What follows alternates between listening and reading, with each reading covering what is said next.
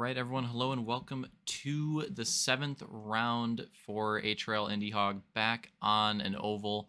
This is going to be halfway done with the ovals on the season. There's three in uh, once we're done with this race and three more after it. So, yeah, we'll be right at the halfway point here. This is the Milwaukee Mile historic track halo version quite interesting. Didn't know exactly how this is going to turn out and it turned out a little bit differently than i expected. You'll see in the race but uh, i liked the way it turned out. This track ended up being uh, very different and uh, i like how again been saying it uh, all our well all our tracks really but all the oval tracks so far have all been fun but in completely different ways and have, have ran completely different. Um, it's been kind of refreshing too because we have so many like outside ovals uh, recently. We've had a lot of inside ovals. We've had a little bit of both but a lot of inside ovals in the hogs, and I don't mind it. I don't mind it. They've ran pretty well so far, so I actually actually think it's pretty good. All right, but let's get into the first moto again. Of course, I said this uh, seventh round of the season, second stop on our Wisconsin tour in the beginning of October. And the winners of the heats, uh, Hunter took heat number one, and Detail took heat number two. So those are heat winners there. Uh, Hunter taking his, I'm checking it, second heat win in the season. Uh, Detail taking his third there. So they're going to have good starting position in this one. Let's go through the starting position. So on your right, then your left, that's how I'm going to call it. It's Hunter, then Detail. And then here in the second row, we'll shout him out. If you guys remember him from Halo 5, uh, we'll pull it. There you go. You can see it. Elite is back. And I hinted at that in the last couple videos, saying that he was supposed to be uh, returning, and he's actually here. And so yeah, making a return to the Hogs.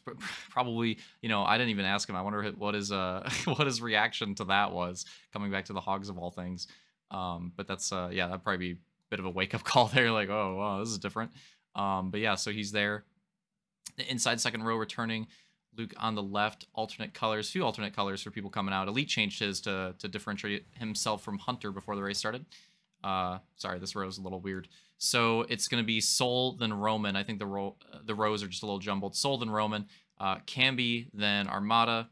Slaunch, then Coop, and then Matt's. Matt's green looks. I couldn't even see it. It's a lot more visible here in the the theater, but uh, but Matt there in the back row. So some alternate colors coming out for a few people. We're going to be doing a 91 checkpoint. 91 checkpoint 45 lap race at the Milwaukee Mile Classic Circuit here. Going to be going green. There we go. Green flag again. Hunter in that inside row. Winner of Heat 1 trying to take an early lead.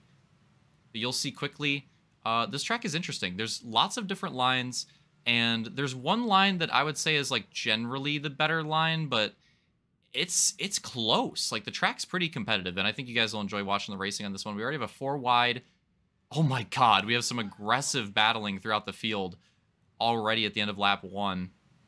Loving what we're seeing. And Detail actually has a really nice run. He takes the lead there. Like, while all that battling was going, Hunter had such a nice gap. He made some huge gains, and I almost missed to call it out because it happened so quickly, but he takes the lead from Hunter there. So Hunter going back to second. Meanwhile, we have some... Oh, that was... Ooh, wow, that was some intense screen lag on that one. Oh, big dive right there. Oh my god. Oh, a rocking. I think that was Hunter and Luke on that one. It's a pretty intense battle in the first turn.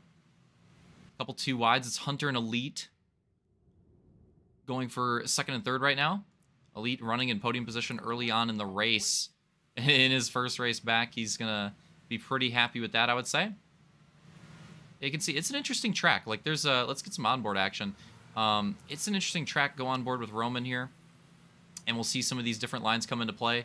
There's a bunch of different lines that you can do. You can do a line where you run it almost kind of like a Martinsville and you go to the inside and you let off in the middle and then gas it out. You can do that. There's a line where you can like line it up and, and kind of like swoop from outside to inside and don't let off the gas. And that can actually be pretty quick too. It's probably the hardest line to do. It, it can be really fast. It honestly might even be the fastest line, but it's really hard to do correctly. So I don't think we will, see it as often.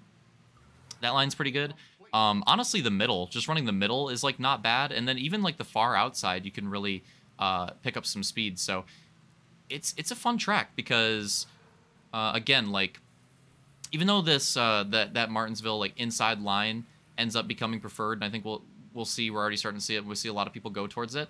Um, the other lines don't stop. Like people people run the other lines and like have success with those other lines, and uh, it's interesting on restarts too. This track is a very I think a lot of people thought it was more inside dominant than it really was on restarts. I think this track is a pretty uh, similar to Indy, which we did last week. Another track where the the choose rule is actually pretty even on the restarts as well. So it's another interesting factor. Think about here. So Hunter must have fallen back. I'm not sure what happened. Battle up front. Details got a massive lead um, already. Already putting together a nice gap there. And second is is Elite. And third, Luke. Fourth, Slaunch. Did Hunter fall back to fifth? I think that's Armada. Yeah, I don't know what happened to him. Um, but we'll see the different lines coming out here already. We see Luke trying to work the inside now. Switching it up, we see Slaunch trying to work the inside. Luke going for a bit of a different line. Elite's just holding strong on that higher line, almost middle line. But now Slaunch gets that run. Luke's line didn't work out, but Slaunch isn't able to get that momentum there the way he wanted to. But look, he gets this really nice run. This is what I'm talking about on this inside line. So while Luke was battling with Elite, now it might be... Oh, the crossover! Very close, but Slaunch gives the room. And now we'll have a battle between Luke and Slaunch for third place. Luke just keeps just a nudge there. Just a smidge on the inside. Slaunch now has to go to, towards the outside. We'll see how he can battle back here. It's pretty difficult to do. And interesting, I, I like it. He kind of goes, he tries to do almost like a crossover of his own, and then he uh, settles in, decides to uh, elect to go back to the inside and see if he can find something there. Or wait for another mistake. Another interesting thing to factor in is that inside lines got some speed, uh, but something that can happen with the inside is it's very easy to make mistakes. Like, I think it's a lot easier to stay consistent uh, running the other line. And then right there, too, when you're battling with someone like with Slaunch experience there with Luke, if you get off on a weird braking point, um, you know, that can hurt you as well. But then also when you're on your own, uh, you can miss your braking point, miss your shift, and then that can cost you as well. Uh, so even though you know, even though that inside's pretty strong, and even though it's probably the strong line, it even has its own uh, factors to it. So what, like uh, 27 on the checkpoint. So still a long ways to go, really, uh, early in the moto here. And as you can see, a lot of this front field has uh, has strung out. But let's take a look at this. We might as well because it looks kind of intense. This uh, this back battle is insane. I'm kind of shocked to see Roman. I think it's Roman um, on the inside there involved in this. Um, I'm pretty sure, yeah. I think it is. I, Roman had speed in the heat. I wonder, must have got cheesed in some way or something. I wonder how he got this far back. Um, but as you can see, he finally hooks up that inside. He's going to get around it here. Coop trying to hold off Matt behind him. And they were having a really good battle there for a bit. That three wide in the back, they were just, uh, they didn't get the memo. Everybody else singled out. They were still, uh, still going at it. Let's go update through the field while I take a look at this. As you can see, um, Yursky has a pretty thick lead, fittingly for him. Second is Elite still, but the lead's definitely opened up a little bit. Now, Elite's gotten a bit of a gap on Luke from when the battle with him and Slaunch happened, but it's still pretty... It's not like it's not like gapped. Like I think I think Detail's got a pretty good lead. Um, but uh, but the battle between Elite and Luke's still kind of manageable if if Luke could have a run. But Elite's just running so strong right now. Meanwhile, Slaunch has lost a little bit on that podium position. I don't know if he had some rough braking points or what, but he lost a little bit there. So he's kind of in his own area code at the moment. Uh, Camby rounding out that top five. I would say the same for him. Now there's Hunter in sixth. So Hunter trying to work it back. We got a battle. Let's take a look at it as we're doing our update through the field. Uh, we got to see these battles when they do happen. So it's Soul and Armada here side by side. You'll get to see, and it, it's an interesting battle track because, again, the inside's like so strong, but the outside gets really good runs. And I think Soul here, one of those drivers that's not going for that inside line. And some people struggled with it. Some people caught it really quickly. Um, some people not adapting to it as quickly. And you can see here with Soul and Armada battling, it's that inside line does help out the the passes a lot more on this track. Like it, when you're not capable of running that line, you can make time. But dude, look, just look at this. It's so difficult for for Soul to like get ahead of Armada and then clear him. Like it's just so hard for him to do. Oh, running him super tight right there, but nice and clean. Um, no contact with the wall or anything. Very nicely done. And you can tell Soul's just trying. I think he even got loose right there. He's trying his hardest to just get in front of him. And maybe he needs to go for like a slide job. Maybe he needs to try. Oh, okay. You know what? Different uh, mindset. He did agree that he needed to try something different, but instead he's like, okay, you know what? I'm just going to try this inside. I'm going to see if I can figure it out. And he goes for it. And he seems to run it pretty decently. And as you can see, now he's getting those runs. He's getting that reset, and he's just speeding away. Just absolutely speeding away. And Armada, oh my god. And Armada's definitely going to be losing some time as well um, with how he's drifting it so hard. But Soul looks like to be on a charge. Let's get back on board with him um, because I think Hunter in front of him is not getting that inside line down as well at the moment. Um, so he's starting to lose a little bit on Camby. And opposite, Soul is starting to gain a lot on Hunter. He he made that move. He's like, you know what, screw it. I'm going to try it. Try that inside, see if I can figure it out. And he seems to have it down pretty decent at least. And he's really making some gains, but something must have happened here because now he's had a few rough runs. Maybe he missed a shift or two. He he had it figured out, but look, Armada's here now. So maybe he missed a couple shifts, and that's exactly what I was saying. Like that inside line has speed, uh, but you can mess it up. And you know, obviously, when things are single wide like they are right now, you know, not going to hurt you as much. But when you mess it up in a pack or on a restart early in the race, something like that can really cost you. So it can be a it can be a risky line to run, especially early in the race, especially behind people. Because like I was saying, like people have those different braking points. You can you can lose time following people on the inside. Like even though it's the faster line overall, um, when you're in a pack, it, it, it might not be. It might not be in a pack, and we'll we'll see how that plays out when we get it packed up again. Whether there's a caution in this moto or in the second race, because you know we've seen this before. I think our Halo Reach, even though it's different, different vehicle, different game, uh, different version of the track. I, th- I think our Halo Reach Milwaukee Mile also uh, had a well. I think it went green all the way. I think it went green all the way, and so far our first moto of this is over halfway done, and it's it's going green so far, and looks very clean. So we'll see if we can repeat that here. Although something to factor in is uh, no motos. It was just one race. It was one. It was one race on two different tracks in a night for that that reach throwback. So that was a little different. No motos. It was just the one race. Obviously here we have motos, so that's a little bit of a difference. Even if this if even if this race does go green, there will be a second moto um, for that to, you know, try to try to be different in that second race. Now it looks like it's gapped out again. And let's see here. So yeah, you can tell detail. Yeah, he hasn't. It feels like he got a really big gap early, and now he's just kind of managing it. I feel like he hasn't lost. You know, I feel like he hasn't gotten away from elite too much now. Um, he he's definitely grown it a bit, but I think it was mostly like early in the race he really got away and now he's got such a lead that he can just kind of chill and just run it. Meanwhile, Elite something must have happened there because Elite's got a. I think Elite's grown the gap on Luke. It's not over yet, but I think he's grown that gap as well. I think the gap with Slaunch and Luke's grown a little bit. Um, and Slaunch seems to have been kind of even for a bit. Soul is now starting to track down Hunter again. Let's get on board with that because this might be our battle. And right there, you could tell Soul going for the, that, that momentum steal on on Hunter and curious if that was the right play there. I think it might just be better for him to just run that inside. And here he, he decides to do that in 3 and 4, changes his mind. So we're getting we're getting really close to the end of the race. I mean, yeah, this might go green all the way. We're, we're getting really close at this point.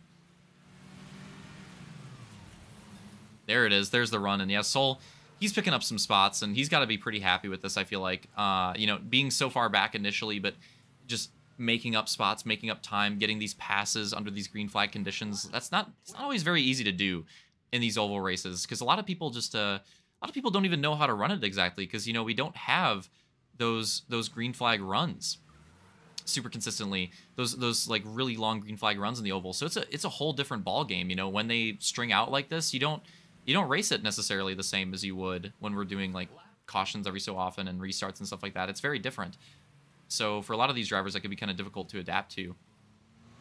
Oh, running really tight right there. I don't know if that, I don't think that was on Hunter really. I, I don't know. I think Soul was trying to find a crossover there and just couldn't find it.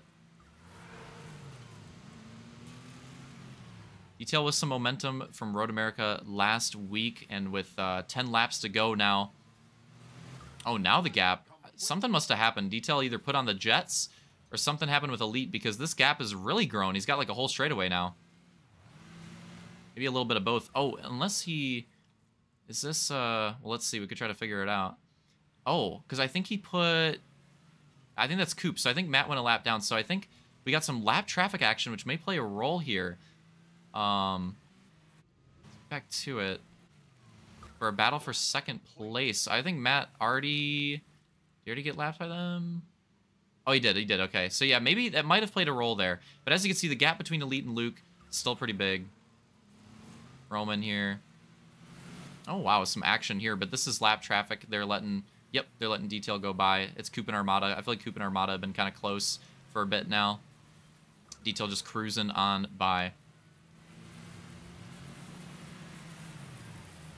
Putting on a really good performance right now, and it's looking like he's going to lock this one in. Uh, as long as there's no... Well, I mean, hell, even if there is a caution, he's in a really good position, to be fair. Yeah, trying to pick up some momentum on the season. Really good race last week, and now trying to carry that over into the Milwaukee Mile. And so far, so good. Doing very well. On the ovals in general, he's been been uh, very good on the hog ovals. And I mean, not that he's he's good on the the goose ovals too, but I honestly feel like he's been the most consistent probably on the hog ovals so far. As early as we are into him. I mean, obviously we haven't done that many races, but he's picked up quite a few wins. Five laps to go. Detail to take his fourth moto win of the season if he can hold on to it. Meanwhile, Soul and Hunter. Soul getting the slide job on Hunter. Trying to hold on to that position and bring, bring Roman. What the hell? Where did Roman come from? Roman's in this battle now. And right there, right by the way, right there, perfect example with those braking points, what I'm talking about. That did not help Roman. But it ends up helping him, and Hunter might lose two positions here. Oh, and Soul's on the outside. Oh my god. Looks like Roman's to get Hunter as well. Looks like Roman's to get Hunter as well. And those spots have swapped, and now... Uh, I'm not sure if this is some big gains or some cheese from Elite, but now the battle for second place, a podium spot, has finally opened up. We've been, uh, you know, the podium spot's been pretty set this race, but three laps to go. Elite and Luke, and it's on.